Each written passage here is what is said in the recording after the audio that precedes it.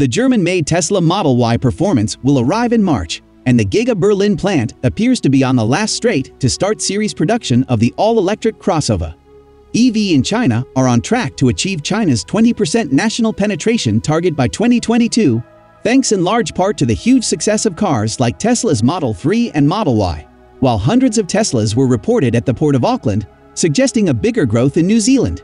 Not only Model Y bodies with obvious structural battery space, but also a batch of new Tesla Model Ys recently spotted at the Giga Texas plant. Tesla turned to Mozambique mines to source graphite for its electric vehicle batteries, especially as demand for batteries has grown steadily. Tesla is starting to roll out FSD 10.9 with a more natural left turn and a quieter launch. Finally, in your opinion, which electric vehicles are the most anticipated and desired according to Google? Welcome back to Technopool. Don't forget to subscribe to our channel, like this video and hit the notification bell icon to get updated with Tesla, Elon Musk, and everything about the EV industry. The Tesla Giga Berlin appears to be the last to begin mass production of the Tesla Model Y. Technically, the company may be very advanced and almost ready, as last week's flyover video showed double-digit brand new cars being assembled on site. The company recently received approval to produce 2,000 Model Ys, likely to be test or demo cars, as part of preparations for mass production. Many of these cars have already left the factory via transport, including the first cars in late 2021. As far as we can tell, these are Tesla Model Y performance versions. The vast majority are black, but there are some other colors as well. According to rumors, Tesla will start with a black and white cars and then roll out some new colors. The updated Tesla Europe website shows that the estimated delivery date for the Model Y Performance for new orders is March 2022. It was also discovered in the source code of the website. The new Tesla Model Y Performance in Europe will come from Berlin, Tesla reportedly quickly removed the code. Initial production of the made in Germany Tesla Model Y is currently expected to be based on standard method, front and rear giant castings, and 2170 cylindrical cells. The next step will be to introduce a structural battery pack version using 4680 type cylindrical cells at some point in the future. Thanks to the huge success of Tesla Model 3, Model Y and other well-known electric vehicles from companies such as SAIC GM Wuling, China's electric vehicles are on track to achieve the national penetration target of 20% by 2022. This is very impressive as it far exceeds the government's forecast, which is expected to hit the 20% mark around 2025. The popularity of new energy vehicles has grown significantly in recent months, with sales more than doubling in November and December. The momentum has helped China's NEV deliveries grow by 169%, according to the China Passenger Car Association. Cui Dongshu, Secretary General of the auto industry, pointed out that sales of new energy vehicles have grown faster than internal combustion engine vehicles. Sales growth by NEVs largely outpaced internal combustion engine-driven cars, suggesting that NEV will continue to replace oil guzzlers at a quick pace, the General Secretary said, according to a South China Morning Post report. Monthly EV sales in the country crossed the 20% mark for the first time in November 2021 when EV deliveries grew 122.3% year over year. Deliveries in December were even better, up 138.9%, equivalent to 22.6% of total car sales in the country. China is the world's largest auto market, and it is also the home of the world's largest EV segment. Over 200 companies produce and supply NEV to China's domestic auto segment, though monthly sales have so far been dominated by a small group of companies. These elite few are mainly comprised of American EV maker Tesla, which produces the popular Model 3 and Model Y, BYD, SAIC GM Wuling, which produces the best-selling Wuling Hongguang Mini EV, as well as NIO, Xpeng Motors, and Li Auto. Tesla has had great success so far with its Model 3 sedan and Model Y crossover. In December alone, Tesla sold a total of 70,602 electric vehicles in the Chinese domestic market.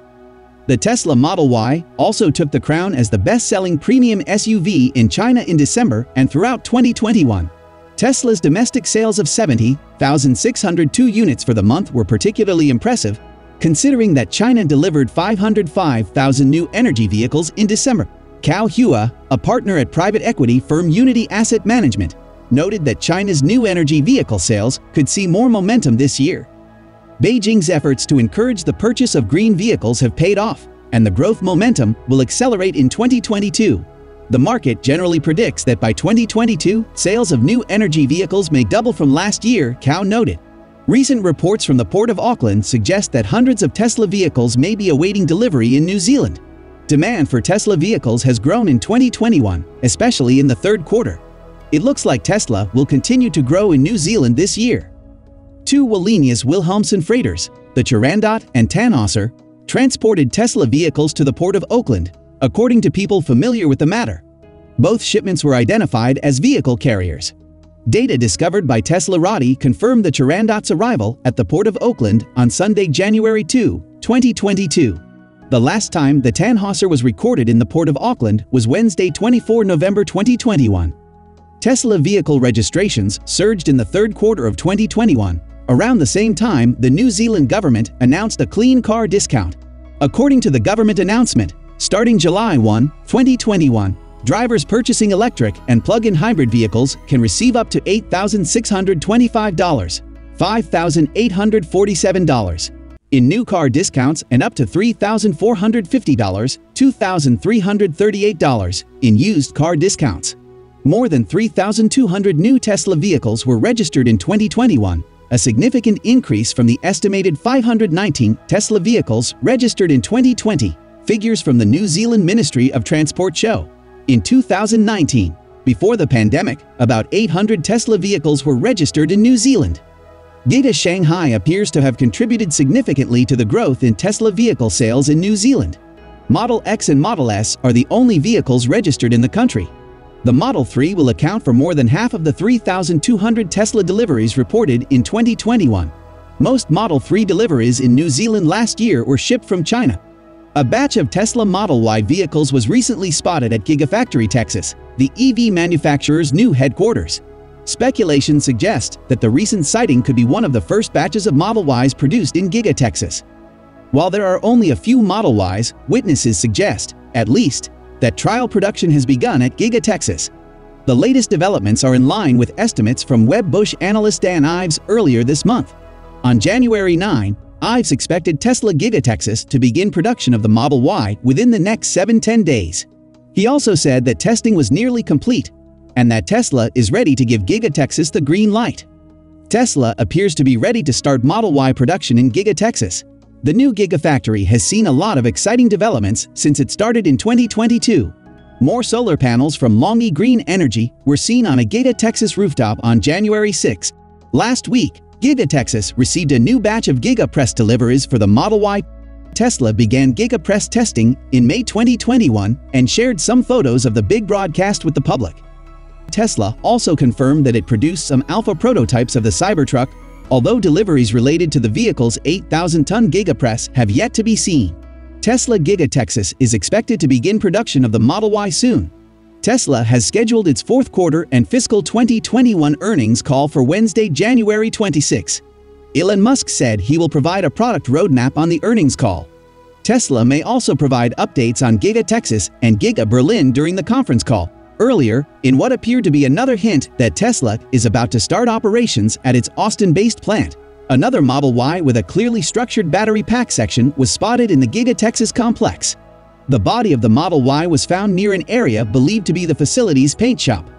The images of the Model Y test body were spotted by drone operator Joe Tegtmeyer, who has been closely following the progress of the Gigafactory Texas complex from the start. As can be seen in the image, the Model Y body was shipped to the paint shop along with some equipment. Other trucks nearby suggested that other paint-related equipment was being brought into the facility. Hints that the recently spotted Model Y body was designed with a structural battery pack could be found on the vehicle's floor, which was completely empty. That's different from the Model Y produced at the Fremont factory today, where 2170 battery modules are placed on the floor. The Model Y with its structural battery no longer needs a floor because its battery pack is built into the all-electric crossover's structural platform. This isn't the first time a Model Y body has been seen in the Giga Texas complex with significant space for structural batteries. Just last month, an unpainted Model Y test body was spotted unloaded from a trailer. Like the recently spotted unit, the Model Y bodywork spotted in December also has an empty floor Unsurprisingly, this has sparked speculation that Tesla may want to launch the Model Y with a structured battery pack in Giga Texas. There are a number of key advantages offered by a structural battery. Apart from reinforcing the Model Y's body and chassis, the use of the component is also expected to help optimize range.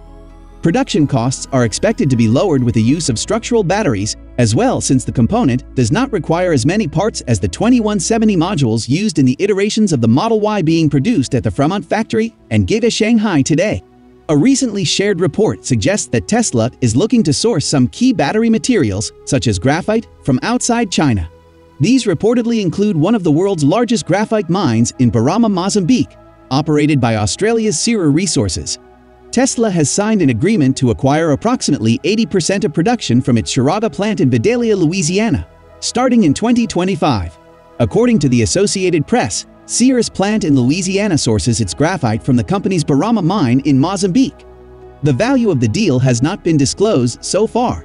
While the agreement has been signed, the Australian miner would still be required to ensure that the graphite from its Mozambique mine meets Tesla's standards Benchmark Mineral Intelligence CEO Simon Moores added that Tesla's decision to work with Australian suppliers to meet its graphite needs could reduce the company's reliance on China, which accounts for the largest share of the global graphite sector. It starts at the top with geopolitics. The US wants to build enough capacity domestically to be able to build lithium-ion batteries within the USA. And this deal will permit Tesla to source graphite independent from China, Moore said. The benchmark CEOs noted that Tesla's use of graphite from the Mozambique mine in Shiraz could also help the company avoid some sensitive issues, as environmental concerns have been raised with some mines in China.